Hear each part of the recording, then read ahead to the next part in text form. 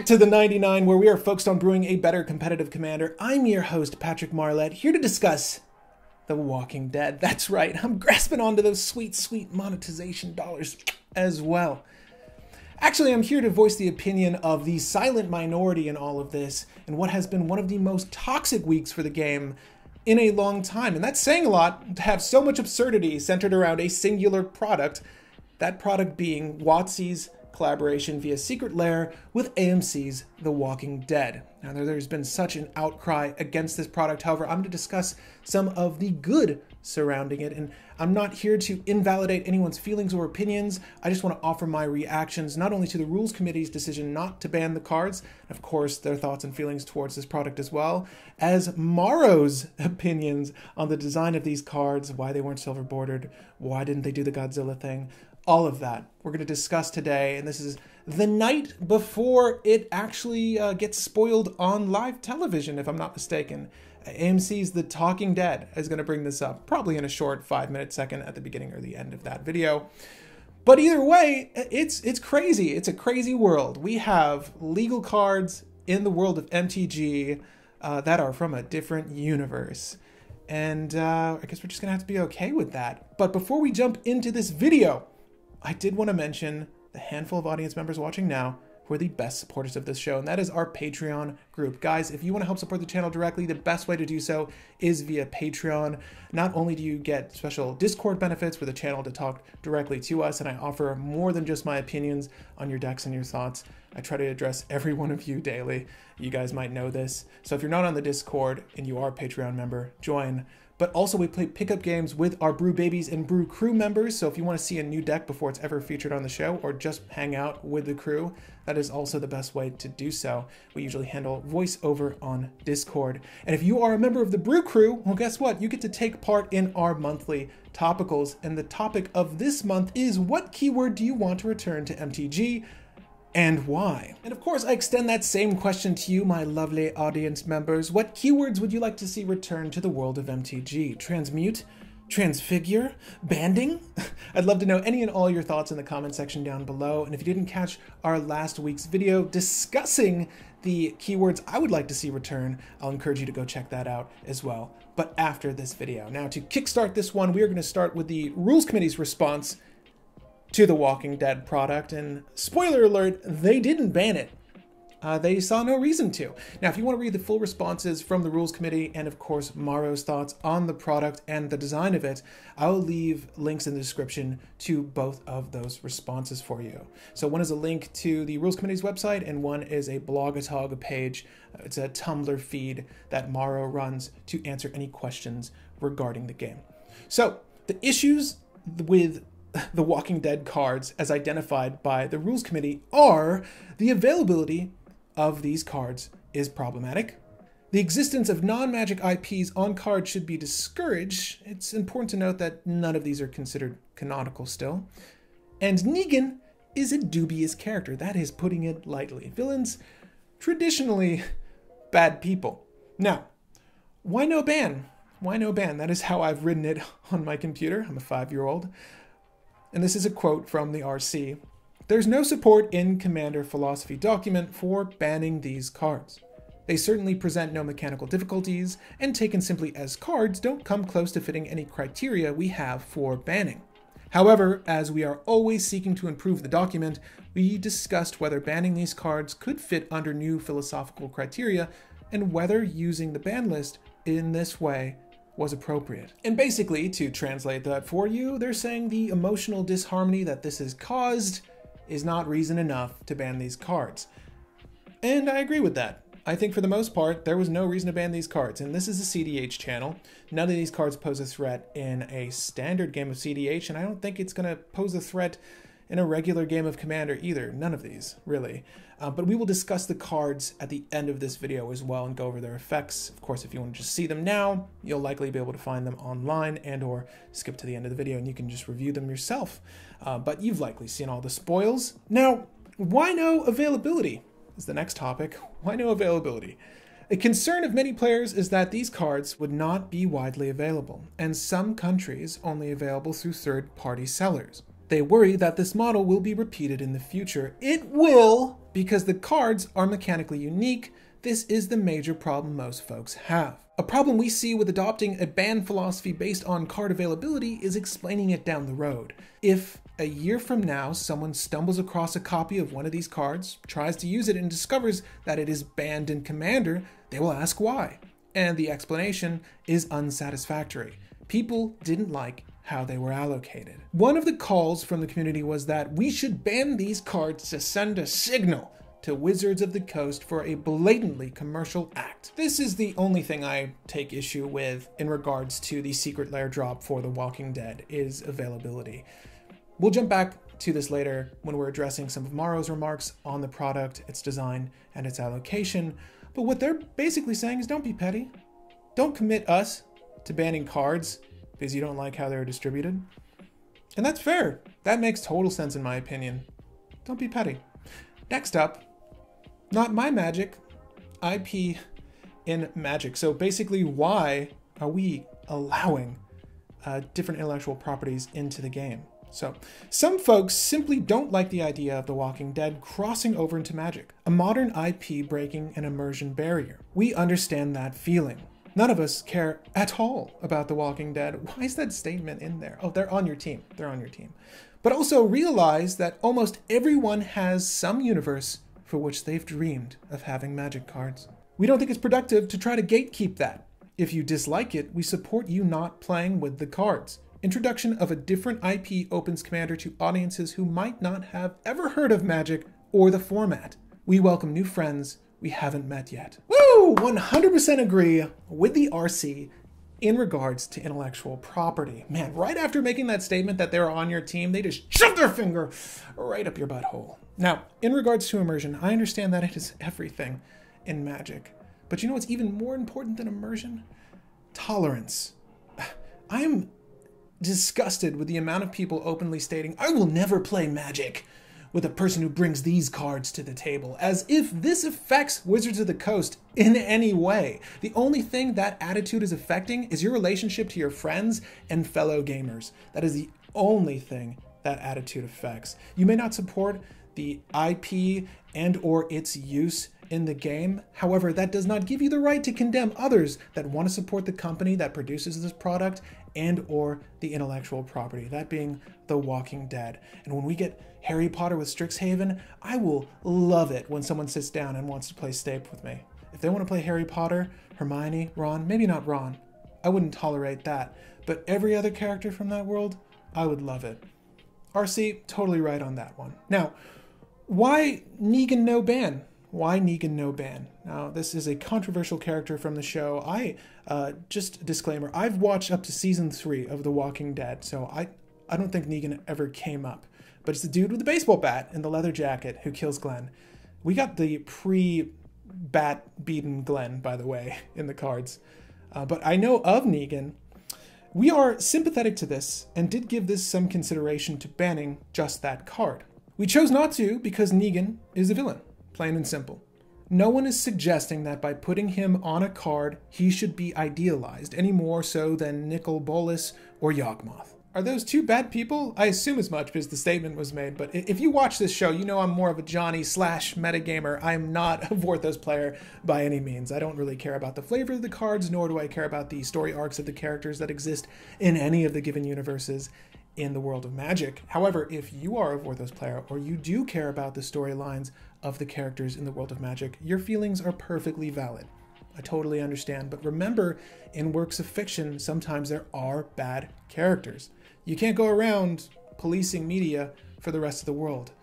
It's never going to work out that way. In regards to this product, I mean, doesn't Jeffrey Dean Morgan play Negan from season seven on? Like, is that where he jumps in?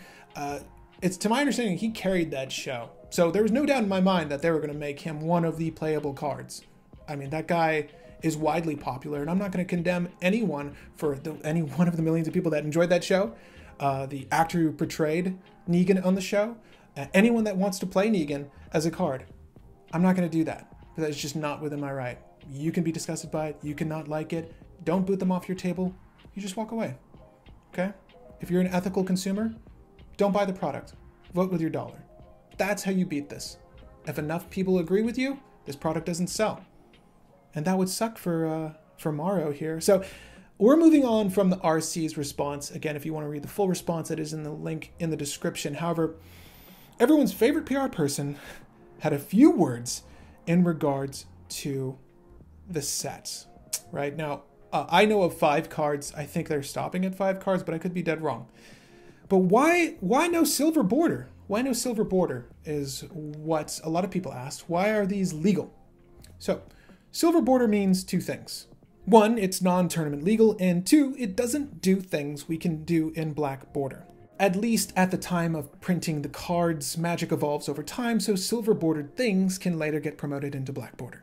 We wanted these cards to be top-down designs of the Walking Dead characters that functioned like more normal black bordered cards. Why aren't these silver bordered? They're legal in eternal formats.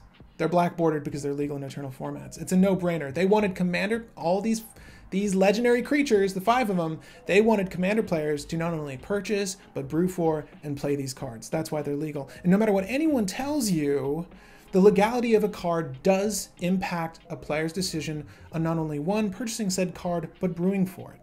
Legality does matter in this regard, and Wizards of the Coast knows that. That's what this response is. Um, there was no reason they should have made these silver bordered because they wanted the product to sell.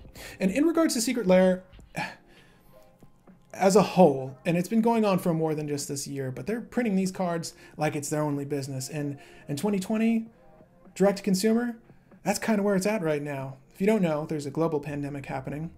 And WotC has almost nearly officially moved on to a direct to consumer market approach. And you know what? It's the 21st century. Every business does that. It is of no surprise that they're offering mechanically unique cards, in my opinion, via a direct to consumer approach because they can make a lot of money that way. That's what they're doing. It's a shame it's a shame, but that's what's happening. And they price these cards based off the secondary market. What? And sometimes inflate the price over the secondary market because, you know, it's value added. I can make it foil, I can make it non foil, I get special art. These things are really cool and they're really great for a select number of consumers, but availability on this end does suck for the people that live in regions that aren't going to be able to pick up these secret lair cards, especially if they like The Walking Dead. But it is of no surprise to me that they're doing this, and you shouldn't be shocked that they're doing this. Direct to consumer marketing makes sense for them. That is where the money is. Now, why no Godzilla? Why no Godzilla? And this is in regards to the approach that they took with Ikoria when they printed cards for the set and then they did mirror cards. They don't call it that technically, but essentially they had Godzilla uh, themed cards based off of cards that were in the set. So they kind of do, but not in the way we did them in Ikoria.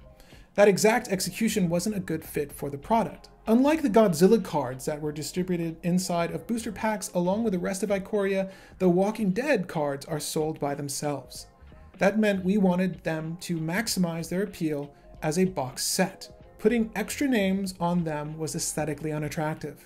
That said, we did build in a way to do backwards versions of the Godzilla skins. If needed, we can print a Magic IP version of these cards with a magic name and creative concept art. We wanted to make sure that these cards were reprintable if needed. if needed. Uh, what that means is if the product sells well, it's needed. They're going to throw this in a box of something if these sell well. It, but the issue there is, and this is another availability issue, is it going to be a topper uh, exclusive in a, if I buy a box of VIP boosters from this next set, do, do I get a chance of one out of 30 to see this particular card? It's likely not going to be in a regular standard set of cards like what they did with fetch lands, the expeditions. It, it's absurd what they're doing with this product, but they know it sells and they will repeat doing this. Uh, so that's an entirely separate problem.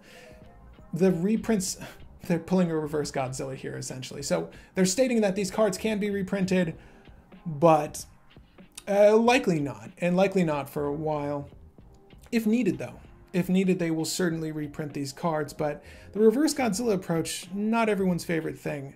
I think that if they did promise this in a set forthcoming, like this year or the beginning of next year, that would have curbed some of this anger towards this product. But because that hasn't been the case, well, it's a major issue. And I agree with folks on this regard. It it's a little annoying. We don't know when we're going to see these again, if we're going to see these again, how we're going to see them, and uh, that's a little messed up. But uh, one of the other issues, and this is in regards to the IP, the intellectual property, of The Walking Dead being canon in Magic the Gathering, it's not. But why now canon? Why now canon? No, they are not. The frames and triangle watermarks specifically denote that they are not canon in the Magic universe. I will note that there are other cards with black borders from the alternate reality of Planar Chaos that are also not canon. Now, what Maro is saying there is that they're not canon, okay? They're, of course they're not canon. You see the little triangle at the bottom? Oh, this isn't a gang symbol. That little triangle at the bottom denotes that they're not canon, all right? Now, it's not the little oval that you're used to seeing as a watermark. It's a triangle. Now, why anyone would think that these cards are canon in the MTG universe is beyond me, just because they're printed and they're legal for people to buy and play with. Uh, doesn't mean that they were trying to make these canon. It was not decided that they would ever do that, and I don't know why. So, hope those fears are abated. Uh, Michonne, she is not a part of the MTG universe, no matter how much you wanted her to be. And this is the perfect way to segue into the cards themselves. I actually have them on the screen now. We're going to discuss all of them from the viewpoint of a CDH player. Uh, but not only that, I can give you my thoughts from a commander perspective in general, whether these cards are good value, whether you should pick this up or not, and what list you might play them in. How about that? We'll just extend this promise even further. But Michonne, Ruthless Survivor. Now, do note that the art depicts the characters from the filmic version, like the TV version of these characters. It's not from the comics, which, if I'm not mistaken, is still going on. I don't know. I don't read the comics, nor have I continued watching the show. But Michonne, Ruthless Survivor, is three generic, one black and one green. For a legendary creature, Human Warrior, 3 3 body. When Michonne enters the battlefield, create two Walker tokens, and those are her brothers. Those zombies behind her are her brothers. Think about that. If I'm not mistaken, I remember when she entered the screen, she was so badass, and then they just like cut the badassery of her character down so much later on. One of the reasons I stopped watching the show. As long as Michonne is equipped, she must be blocked if able, and whenever Michonne and at least two zombies attack, she gains indestructible until the end of turn. That's cute. It's really committing you to a lot here, and the walkers are basically zombies, so if it says walker, think 2-2 body. So for 5 mana, you produce 7-7 worth of bodies. Is this card good? You can force blocks that's something, I guess. You do need to commit a piece of equipment to the board as well. I don't think that's a big enough payoff to say that she's an equipment matters list in Golgari. Whenever Michonne and at least two zombies attack, she gains indestructible. You know, are there better things to do with indestructible? She's not going to be equipping Worldslayer and just ending the game, right? Worldslayer should be on the screen now, but basically, when you attack or deal damage with someone with Worldslayer, you just destroy every permanent. There's nothing fun like that for Michonne here. She's not very good. She's not very good, is what I'm getting at. And I'll try to go over these in the order that they were announced. I believe Negan was next. Negan, the cold blooded. That gives it away. Uh, two generic, one red, one white, and one black. For you uh, Mardu players, look at you. Getting a new card. Legendary creature, human rogue. Fulfills the party requirement. 4 3 body. When Negan enters the battlefield, you and target opponent each secretly choose a creature that player controls. Then, those choices are revealed, and that player sacrifices those creatures. Whenever an opponent sacrifices a creature, you create a treasure token.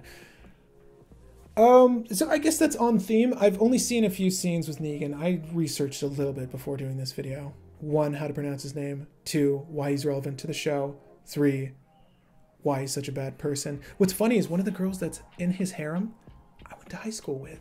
Blew my mind. I'm like, do I do I know this girl? I don't condemn her for being in the show. I don't condemn anyone for watching the show. Um, but the card itself, it's fine. You have the chance to kill two creatures a singular opponent controls as he enters the battlefield. Right? So it's a mind game. You you're like, oh, uh, is he going to pick my commander? Oh god, I should just say my commander so that I don't lose more than one thing. And then he picks your dork, right? So then you lose the Fyndhorn Elf, and you lose your Ashaya. Fine, whatever, Ashaya. And he makes two treasures. It's not good. Uh, Negan's not good. He. Whenever opponent sacrifices a creature, look, you can do more with that, obviously, right? So the idea here being you would build a list centered around giving your opponent's creatures and using clasms to destroy said creatures, make treasure, and ramp into some big thing. That is a lot of effort to do nothing but generate mana. So unless you happen to be top decking in his said solution, Negan himself is not an outlet. This is not an impressive card. However, the next one. Now, I had to talk to someone on Twitter about this uh, because I was confused. Glenn, the voice of calm, for one generic, one white, and one blue. So you're in Azorius, legendary creature, human advisor, 1 3 body, skulk. This creature can't be blocked by creatures with greater power. Now, the response I got was something along the lines that when, when Skulk was a card, it was traditionally Dimir. It's only on Dimir creatures. That is black blue. Um, but they wanted to give Glenn an effect that made him relatively unblockable, right? So he can't be blocked by creatures with greater power. He only has one power, so he's going to be relatively unblockable. But Skulk is a Dimir word. Avoid the word. Avoid, just avoid the word. Why use Skulk on a creature? That makes no sense. And he's certainly not white in his casting. He's not a white identity creature for this next effect. Whenever Glenn deals combat damage to a player, draw cards equal to his power? What? White has done power manipulation uh, for other reasons, right? Like you can make your opponent kill a creature with X power. Am I bullshitting you there? There are things where they've manipulated power to some effect, but never drawing cards. This is like this is not white at all. What, what I'm saying is Glenn is not a white card. Why this is Azorius makes no sense to me. So that qualm aside, my personal complaint aside, is Glenn the voice of calm a good card? Yes. You don't really have great combat tricks in Azorius to buff him, right? So the idea being you would want you would attack, you would get past the thing, right? So declare blocker step happens uh, damage, trigger on the stack. Whenever Glenn deals combat damage to a player, draw cards equal to his power. Well, his power isn't determined yet. You can cast a spell to buff him, draw multiple cards at that occasion. Is this good? Yes, but Azorius really doesn't have the support for that. However, a draw engine like that at 3 CMC and a great color for control like the amount of stax you get from white, the amount of stupid counterspells you get from blue, the only color with viable counterspells, the best interaction in the game. Yeah, Glenn is going to be good. Glenn is the best of these commanders, potential commanders. And, and, and by the way, this is illegal in all eternal formats. I think the only one that might be used is Rick, Steadfast Leader. The rest of these are just not good. I don't I can't rightly speak for any other format, but Rick is the only one that looks like he would go into a human's deck or, or something of the sort. We're not talking about Rick yet, because we're talking about Daryl, Hunter of Walkers. Gruul, you know I love Gruul. Maybe you don't. I love Gruul. Two generic, red, green, legendary creature, human archer, 4 4 body. Interestingly, lacking reach. But he's an archer. At the beginning of your upkeep, target opponent creates three walker tokens. Tap it, Daryl deals two damage to target creature. Whenever a zombie opponent controls dies, draw a card. Requires a little bit more effort than Glenn, but the payoff is pretty extreme. Remember, walkers are 2-2 zombies. And if you happen to run Klasms, you can just destroy the board. Now, a zombie has to die. It can't just be any creature, unfortunately. So it's not as relevant as Negan's ability. And Negan being in Mardu, you have a lot of, you know, each player sacrifices a creature kind of effect. Daryl, not as flexible, but you are creating the walkers. So imagine a pyroclasm for two mana, and you kill all the dorks, you kill all the little shits, and then you happen to kill three walkers on top of that. For wiping the board, you just drew three cards at two mana. That is really good. Two mana draw three is really good just by itself. But that is how this deck is designed, right? And then maybe you'd go in there, tap Daryl, not for two damage to target creature, but you can uh, swing for four. I think casually this is going to be a powerhouse. In CDH, I think you're going to need to put a little bit more effort in to get the most out of Daryl. Again, I still think Glenn is the best just on paper. He's the easiest to accomplish the task with. Drawing one card, not amazing, but you can get him out earlier. You're going to have a lot of relevant stax pieces. He's got Skulk for some reason. You're going to get in there. You're going to get in there. He's good. Uh, and the last one I want to talk about is Rick Steadfast Leader. Is the last one spoiled? No, by no means does it mean it is the last card for the set. They haven't officially announced how many cards are going to be in the set. I guess we'll find out with the Talking Dead if there's a sixth card.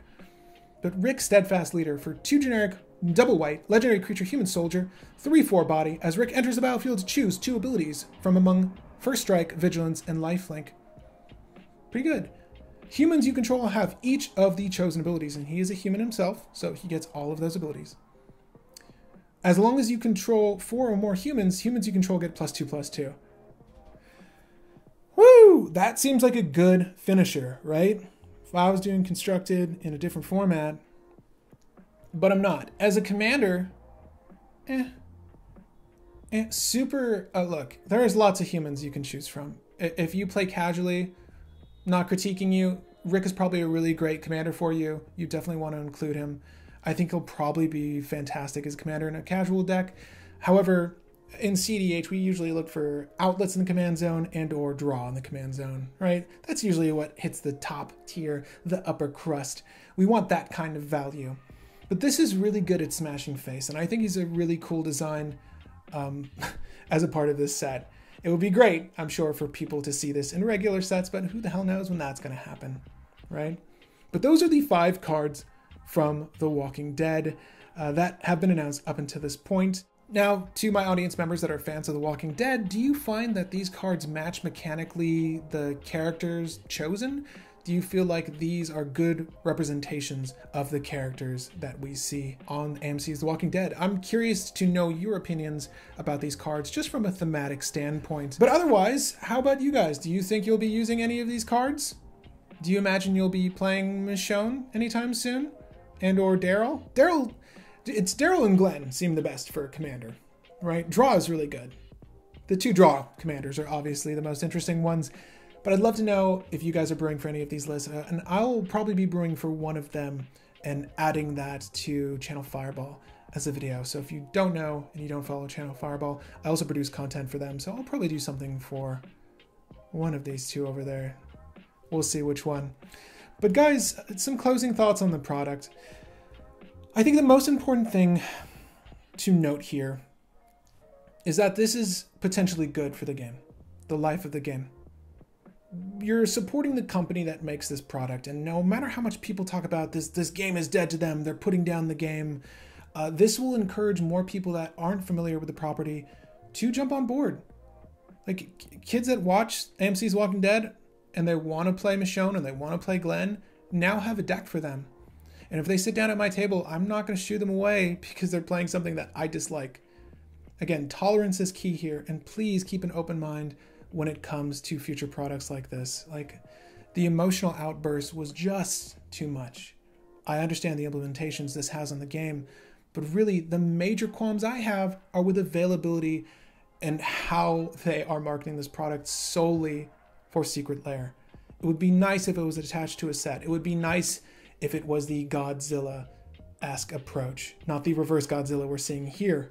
Because when Maro says if needed at the end of a statement in regarding to reprints, it just sounds like bullshit. And it probably is. But remember, Wizards of the Coast, they're not your friend. They are a business, okay? But tolerance towards your friends, supporting the company they love, getting a product they enjoy, tolerance is key here. Try to maintain that in an open mind and moving forward, I think we'll be able to get over these secret lair humps. All right? Those are my thoughts.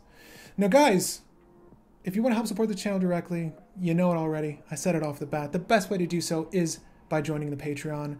And again, there are member benefits, all of which are stated on there. But for my Brew Crew members, a special thanks to you guys for supporting the channel that little bit extra. And of course, we have the monthly topic to discuss. And regarding the monthly topic for October, what keyword do you want to return to MTG and why? We'll hear from Brew Crew member Adam. Hi, Internet. This is Adam. I'd like to say, splice onto Arcane and banding, obviously. But seriously, two mechanics I wouldn't mind seeing a bit more prevalence are Walk and a revamped Emerge. The former gives limited hosing, but allows for creature pressure strategies on otherwise stalemated boards without general unblockable, which allows for a little counterplay without resorting to sweepers. I think a revamped Emerge could lead to some interesting ways to use your creature base as a resource, trading some security for a risky play. Simply docking at one mana I think is a little bit meh, but adding a caveat of non-token and dropping more off the cast could be interesting. Reminds me a bit of Breathstealer's alt casting of Spirit of the Night from Mirage. And as a bonus, modular abilities like Riot. Thank you for joining me on another episode of The 99. Stay tuned for more deck techs, topicals, and brew wars, of course. Again, my name is Patrick Marlatt, and happy brewing, babies.